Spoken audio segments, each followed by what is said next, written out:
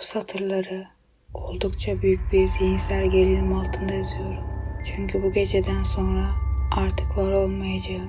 Beş parasız durumda ve hayatı çekili kılan ilaçlarımı tüketmiş olarak bu işkenceler artık daha fazla dayanamayacağım. Kendimi tavan arası penceresinden aşağıya, sefi sokağa atacağım. Morfin bağımlıma bakarak benim zayıf ya da yoz biri olduğumu sanmayın. Bu hızla karalanmış satırları okuduğunuzda niçin unutuşu ya da ölümü seçmek zorunda olduğumu tam olarak kavrayamasanız da belki kestirebilirsiniz. Satış memuru olarak görev yaptığım posta gemisi Engin Pasifik Okyanusu'nun gemilerinin en az uğradığı bir bölgesinde açık denizde bir Alman savaş gemisi tarafından avlandı. Birinci Dünya Savaşı daha yeni başlamış ve barbarların okyanus kuvvetleri rezilliği henüz tam olarak ele almamışlardı.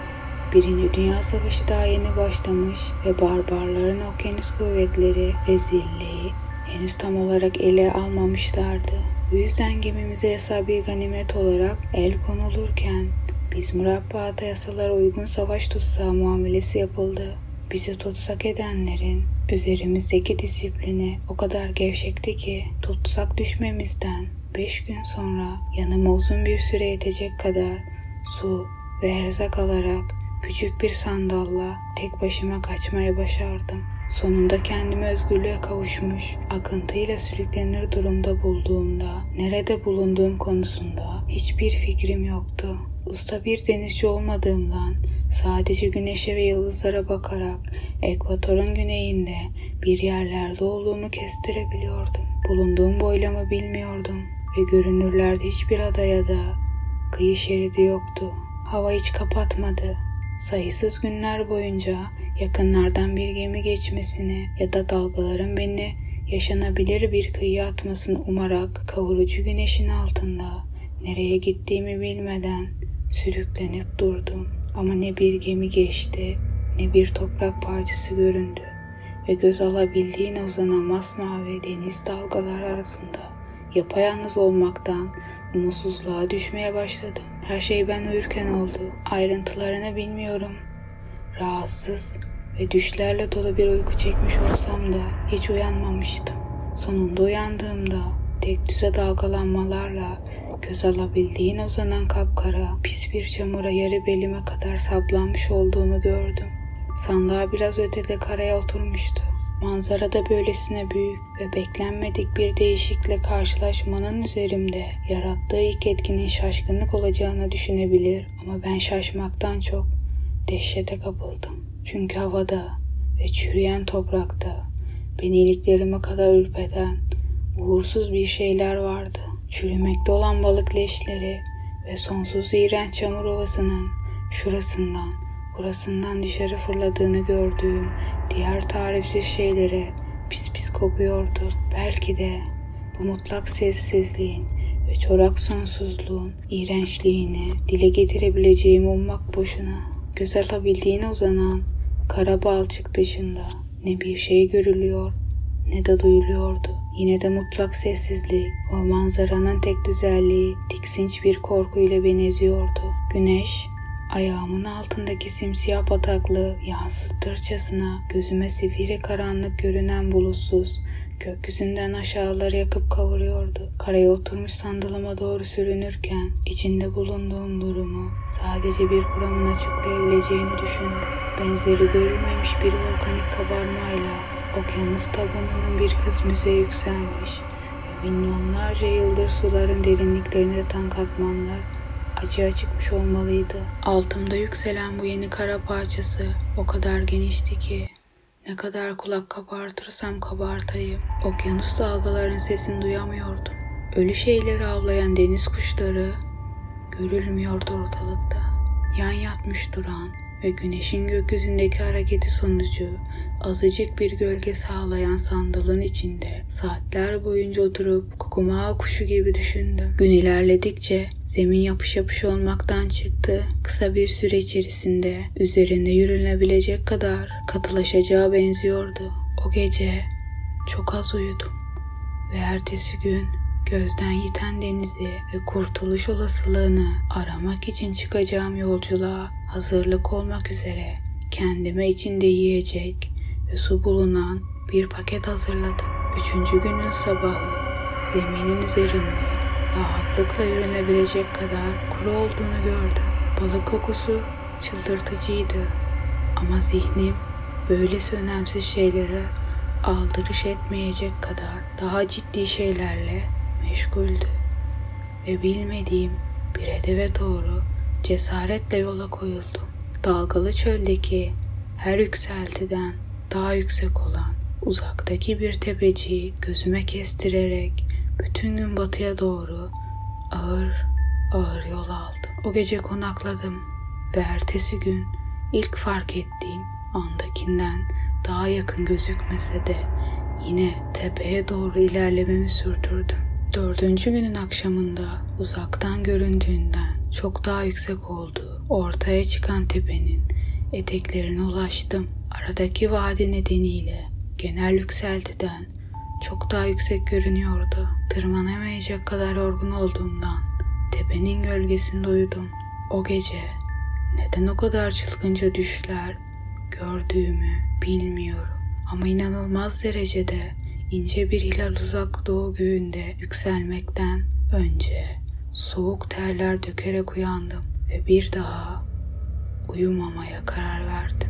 O düşleri yeniden görmeye dayanamazdım ve ay ışığında gündüz yolculuk yapmakla ne kadar akılsızlık etmiş olduğumu anladım.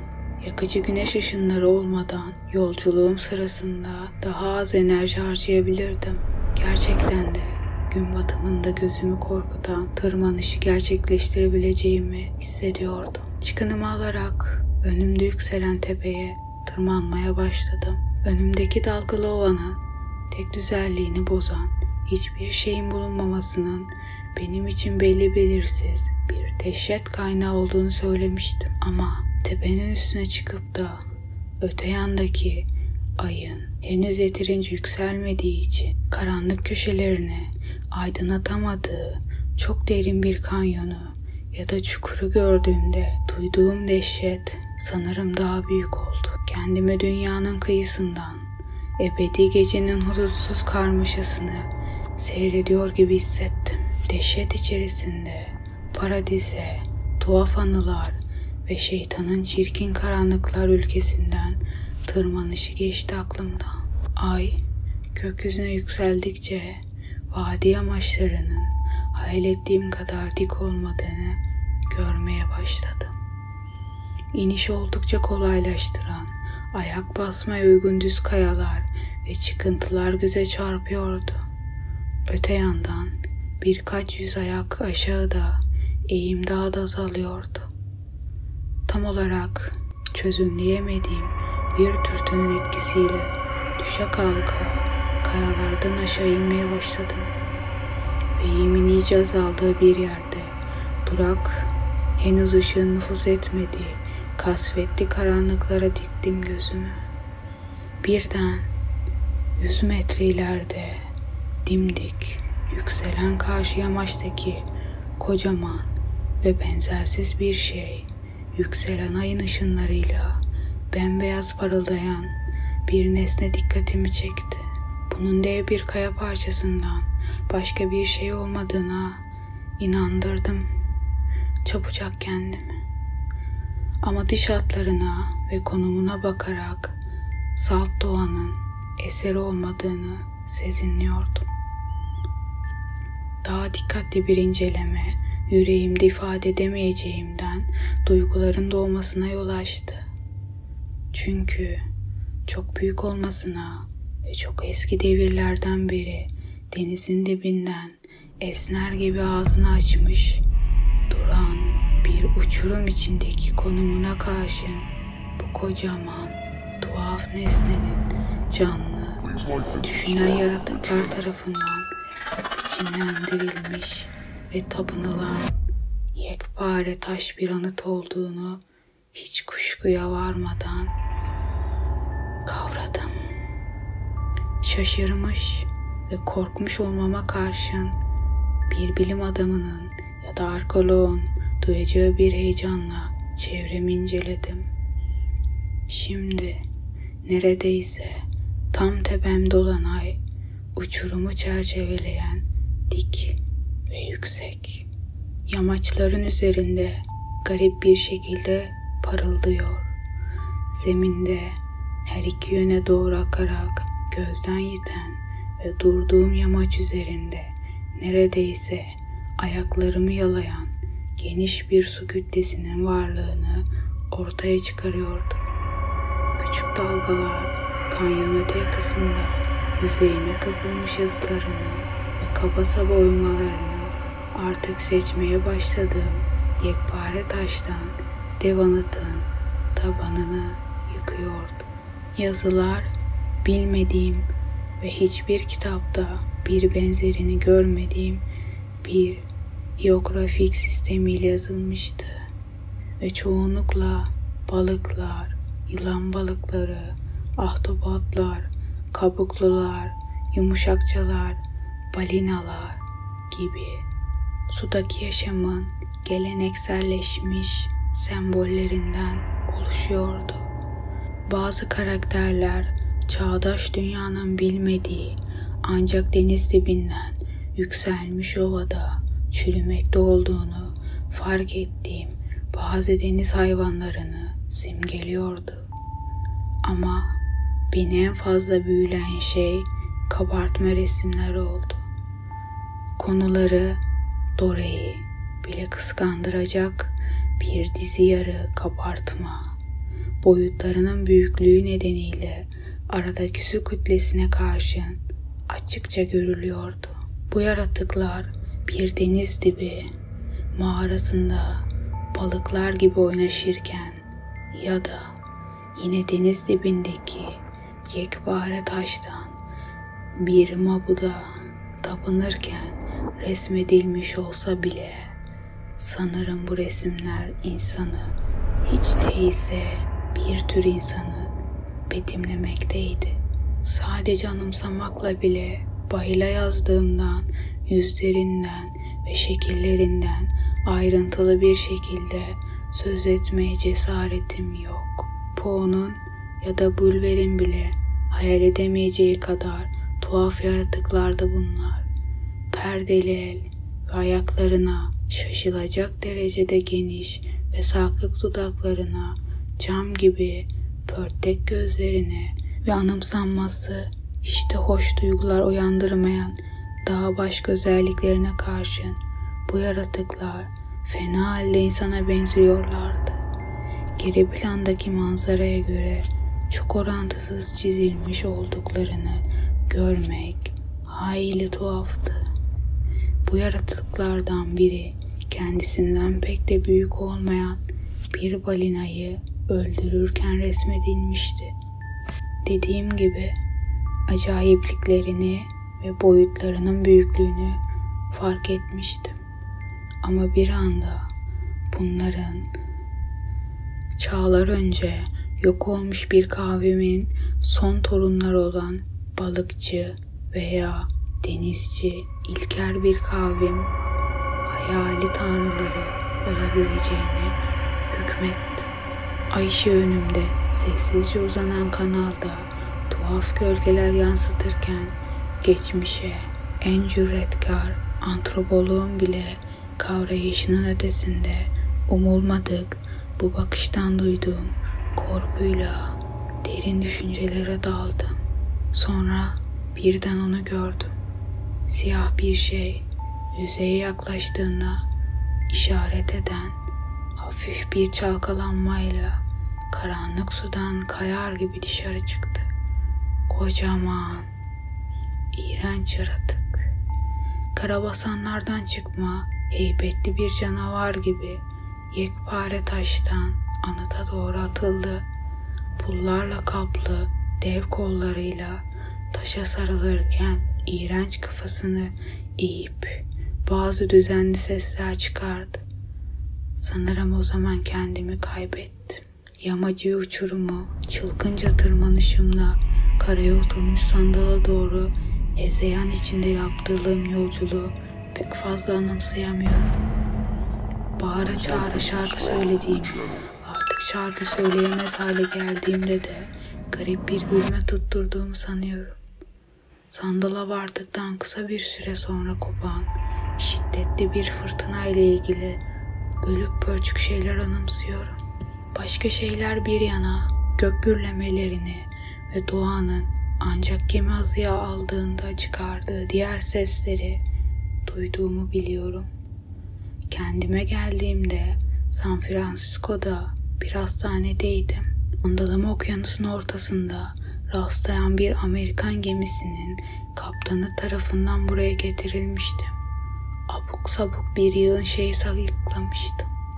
Ama sözlerimi ciddi alan çıkmamıştı. Pasifik'te su yüzeyine yükselmiş bir kara parçası konusunda kurtarıcılarımın bildiği bir şey yoktu.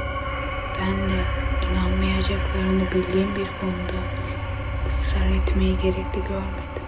Bir defasında ünlü bir budun bilimciyi bularak eski Filistin efsanesi balık tanrı Dagon konusundaki garip sorularımla onu eğlendirdim. Ama kısa sürede adamın umutsuz derecede gelenekçi olduğunu gördüğümden sorularımla daha fazla sıkıştırmadım. Ayın özellikle ince bir hilal olduğu gecelerde o şeyi yeniden görüyorum. Morfini denedim. Ama ilaç sadece geçici bir rahatlama sağlamış ve beni pencereler arasına alarak kendine tutsak etmişti. Bu yüzden yurttaşlarımın bilgilenmeleri ya da hor görerek eğlenmeleri için her şeyi ayrıntılı bir şekilde yazdıktan sonra son noktayı koyacağım. Sık sık kendime tüm bunların salt hayal gücünün bir oyunu, Alman savaş gemisinden kaçtıktan sonra açık sanralda kavurucu güneşin altında yatmam nedeniyle çıkan ateşimin yol açtığı bir sanrı olup olmadığını sorarım. Bunun ne zaman kendi kendime sorsam yanıt olarak her seferinde gözlerimin önüne son derece iğrenç bir görüntü geliyor. O anda çamurların içinde debenelip duran eski taş mabutlarına tapınan ve kendilerine benzer iğrenç şekilleri suyun altındaki yekpare granit kayalara oyan o atsız şeyleri gözlerimin önüne getirerek korkudan titremeden derin denizleri düşünemiyorum. O şeylerin dalgalar arasından çıkarak pis kokulu pencereleri arasında savaşlardan yorulmuş, zayıf düşmüş, insanlıktan arta kalanları suların derinliklerine sürüyecekleri bir günü evrensel bir karmaşanın ortasında karaların denizin dibini boyladığı ve karanlık okyanus tabanının yüzeye yükseldiği bir günü düşlüyorum. Sonum yaklaştı. Sanki ağır ve kaygan bir beden kapıya banmış gibi bir gürültü duydum. O şey, o şey beni bulmamalı. Aman Tanrım, o el, pencere, pencere.